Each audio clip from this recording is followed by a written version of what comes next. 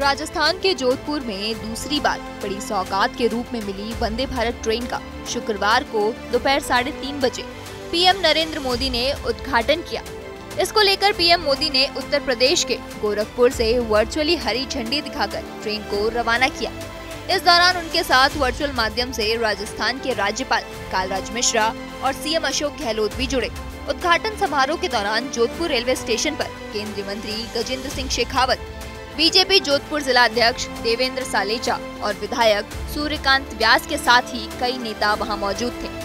शाम को ट्रेन लगभग पौने पाँच बजे जोधपुर से साबरमती के लिए रवाना हुई। जोधपुर रेलवे स्टेशन पर उत्साह और उत्सव जैसा माहौल था। हज़ारों लोग स्टेशन पर वंदे भारत ट्रेन को देखने और रवाना करने के लिए आए हुए थे। जोधपुर से सांसद और केंद्रीय मंत्री गजेंद्र सिंह शेखावत ने कहा कि ये ट्रेन राजस्थान और गुजरात की दूरियाँ कम करेगी। जो उत्साह और उतरे अतिरिक्त आप देख रहे हो जोधपुर से लेकर पाली तक भी और रास्ते में भी स्टेशन पर बरसती बरसात में। ये केवल इस बात का परिचय नहीं है कि एक नई रेल देखिए देश के संकल्प का परिचय है कि देश बदल रहा है। और देश बदलाव में देश जो है माननीय मोदी जी के साथ पूरी ऊर्जा और उत्साह के साथ में जुड़ा हुआ है ये इस बात का परिचय आपको बता दें, इस ट्रेन में आठ कोच है। वंदे भारत ट्रेन सप्ताह के छह दिन चलेगी। यह ट्रेन सोमवार से शनिवार तक संचालित होगी। इस दौरान रविवार को ट्रेन का मेंटेनेंस कार्य होगा। इस ट्रेन में सफ़र करने के लिए यात्री आईआरसीटीसी के ऐप से ऑनलाइन टिकट बुक करवा सकेंगे। 9 जुलाई से इस ट्रेन का नियमित संचालन शुरू हो जाएगा। रेलवे ने जोधपुर से साबरमती के बीच चलने वाली वंदे भारत ट्रेन का पूरा शेड्यूल तय कर लिया है।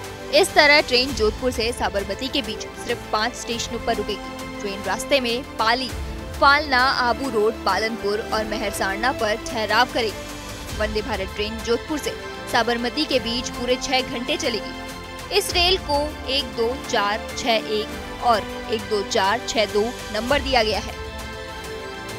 जोधपुर से वंदे भारत ट्रेन सुबह पाँच बजकर पचपन मिनट पर रवाना होगी।